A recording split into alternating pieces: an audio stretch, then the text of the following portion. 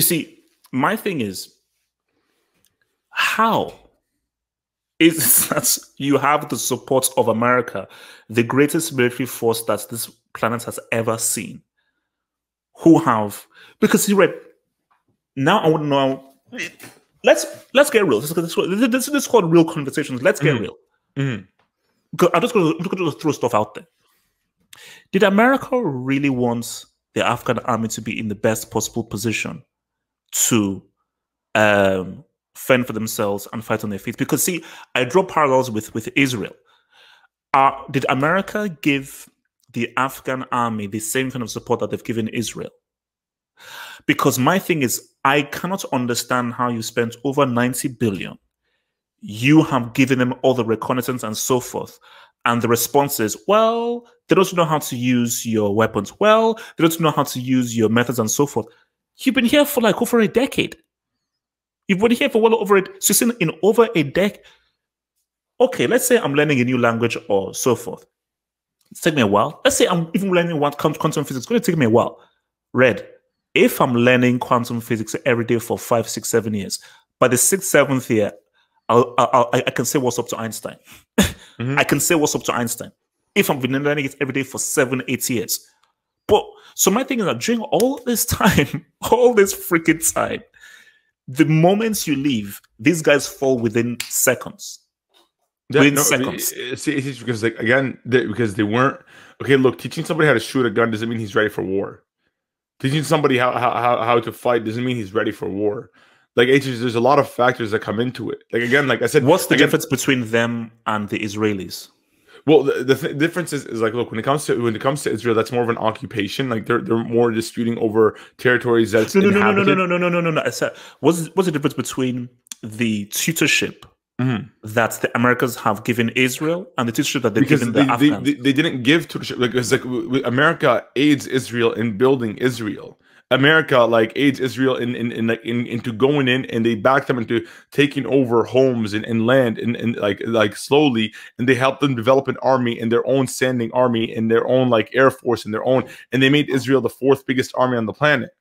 Like America did that with Afghanistan, they didn't do that. Afghanistan, first of all, they they, they just they, they were just present there. They were just taking over. Like there's pictures of American troops standing outside guarding opiate uh, opiate fields. Like America didn't do for Afghanistan what it did for Israel. First of all, and aside from that, America has been aiding Israel for the better part of like for almost 100 years at this point they've been sending them aid every single year and they continue to send them aid every single year. They, they don't exist within israel in that they, they just keep sending them money they keep sending them weapons they send them they send them the iron dome protection they sent them so much technology. They didn't do the same for afghanistan. Like what like you like again and also don't forget like the difference between Israel and in in in in, in uh, Afghanistan is what Israel is doing is they're occupying cities and, and towns where they go in and they take them over like that, right? Whereas in Afghanistan, you're talking about mountains, you're talking about a region where it's it's it's it's it's it's not like it's not very easy land to really take over. These people just retreated to the mountains. That's why they're very hard to like to destroy. America, the only the only they, they were they they weren't giving them any troop support or any like heavy military support in, in, that aspect. They were just giving them like logistics and like air force, and of, of course, like they had the training facilities and the weapons and all that stuff. But once you take that stuff away from them, these troops that are used to fighting a certain type of warfare now lose their biggest asset, right? And and now Taliban can just go if they go and take in a military base, all no, the weapons red, America left behind red, is red, red, hold, hold on, red, hold up. Mm-hmm. This Afghan army, they knew because again, look, I'm not judging anyone and everything. Yeah. So I'm just I'm just asking questions here because because yeah, this is an, an open dialogue. They knew that America, they're not going to be here for forever. Mm-hmm. They knew that eventually they're going to have to leave. So you must have that knowledge. Now, correct me if I'm wrong. This wasn't a case where, hey, we're at boom, well, we're going. It's like, okay, we are going in five months now. Okay, five months. Okay, five months. Five, okay, remember five mm months. We're not, we're not, we're not leaving tomorrow. Five months. Okay, four months. Okay, three. So you know that. Okay, we still have here, but these guys are eventually going to leave. So let's get on our minds that by after five months, we're going to have to now stand on our feet. But what I've now been reading and seeing is there are guys that were like, no, no matter what, we'll never be able to stand on our feet. the guys who were, were already defecting to the Taliban and so forth um, before the Amer- Americans withdrew the army. So it wasn't also as if we're that if you guys aren't here, we're gonna fold. Yeah. we're gonna give in. Like, so, uh, so, so, so my thing, Ready, is that look, we can talk about how America, UK being messed everything up is. How do you now blame again? I'm not throwing questions at there. How do you now blame America? Okay, no. What could America now do if it's a case of where no matter what we do, no matter how much we train and and, and so forth, when we leave, do nothing. this is going to happen. don't intervene. That's the key. Like that's what I'm saying. There Is like oh, just okay, don't okay. intervene because like well, in Vietnam No, no, no, the same thing. But, but Red, they've already intervened. So we're already here now. It's already happened. you let it play out. You let it play out. You just let you let the people sort it amongst themselves. Even if the Afghan army falls, that means that army was not strong enough and it did not have the guard. It did not garner the support.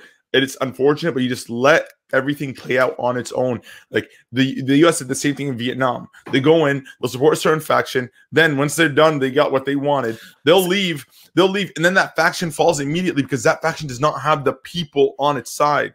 The, the people, the, the, the men, the the, the, women, the, the, support is not on their side. That's why that faction falls out. That's why it's weak. You sort of have to let things HH always play out on their own. There's always going to be civil war. There's going to be war. There's going to be these kind of issues. But like when you want to go, you go in. If, if you want to aid, you aid in politically, right? By by through speech. You don't go in and give more weapons because you know what the U.S. just did right now. You know what the U.S. just did right now? It just gave uh, the the, the Taliban an, an arsenal. They gave them weapons. They gave them military bases. They gave them equipment. That's all they did. All the, the cars, the planes that the U.S. left behind. Who do you think is going to take all that stuff over? Oh, now the Taliban is stronger than it was 20 years ago. Had they just left it 20 years ago, Afghanistan probably could have been able to sort it all out by itself, just through through time and wait, through wait, just wait, like. Oh, you know, sorry.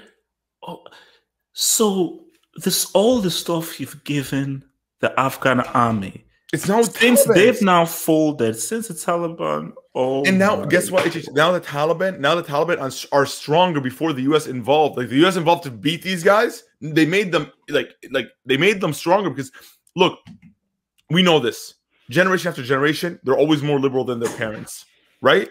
Like every everybody that when you're born, like your parents have a certain amount of way, way of thinking. You're always like, yeah, I agree with my parents to an extent at the core, but I do believe that they're a bit hard like that, and we grow, right? So, well, who are we to say that 20 years ago, let's say, for example, had let's say the Taliban took over in the 1990s and they ran Afghanistan. Then slowly their kids grew up and they were a bit more liberal. And then their other kids became a little bit more liberal. And then over time, like they sort of phase out that way of thinking and they grow from it. You know what I mean? They, they, they, they, they- as a civilization, they grow. They, they realize that okay, this is not good for us. We, they start developing more. They start getting better and better, and that that tends to happen. That's why you see a lot of countries, mostly nowadays around the world, they're more secular like especially ones that didn't that weren't war torn. If a country is war torn, then yes, they're going to be more conservative because they're just trying to survive. So they tend to stick together, and they they, they, they because their lives are so cheap and easily like taken away. Um, they they they have to believe in a higher power to, that that's going to come and sa- save them. That's going to bring them justice, right? So this is what what's happening is when you come and you interfere, you bring imbalance to the situation. You don't solve it. You don't know what the actual just is. You're just believing that okay, we're going to stand with this faction automatically because they're against this faction, but that faction that you're standing with is not even strong. It doesn't have no proper foundation. There's no history behind it. There's no core people. There's no nothing that's galvanizing them together.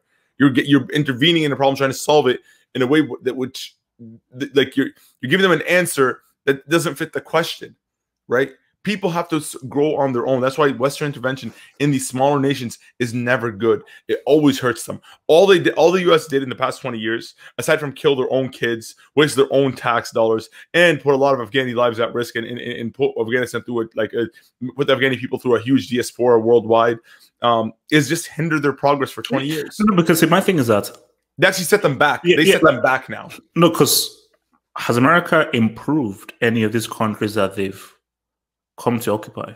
No, the only country that's improved is Israel. And in that scenario, they let Israel do their own thing. They just send them financial support and they back them politically, which is exactly what I'm saying. If you want to help a nation, you don't help a nation by injecting it with more weapons and, and pushing for more fighting. You help a nation by providing it with financial aid to really build infrastructure and by politically supporting it in, in, in the political world to get get trade, to get to, to, to make the country, the economy up and running.